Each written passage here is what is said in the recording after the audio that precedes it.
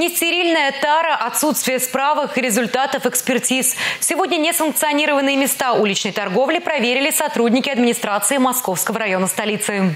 Понимая, что жителям удобнее купить продукты и товары первой необходимости у дома, в разных районах столицы оборудовали специализированные торговые навесы. Но они стоят денег, но совсем небольших. Поэтому нелегальные торговцы располагаются рядом с такими местами. С начала года выявлено 140 правонарушений. Составлено три протокола по статье 17 э, Закон Чувашской Республики об административных правонарушениях, который нам говорит о том, что э, размещение любой торговой точки э, вне схемы размещения НТО, принятой Чебоксарским городским собранием депутатов, депутатов у нас запрещено. Первый день? Да.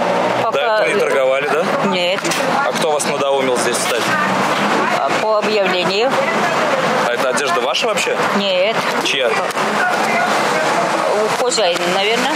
За торговлю с рук придется заплатить штраф от 1 до 2 тысяч рублей, включая предупреждение за повторные нарушения от 2 до 5 тысяч. Специалисты считают, что нарушителей стало больше. У многих есть излишки молока, ягод, овощей и зелени. Из-за пандемии жители потеряли работу. Стабильный заработок, поэтому и торгуют. Любой желающий, у которого есть излишки сельхозпродукции, может э, занять место и спокойно продавать. И все же покупка продуктов в таких несанкционированных местах весьма опасна для здоровья. Поэтому прежде чем совершить покупку с рук, нужно взвесить все за и против. Инесса Потапова, Бахтияр Велиев, Республика.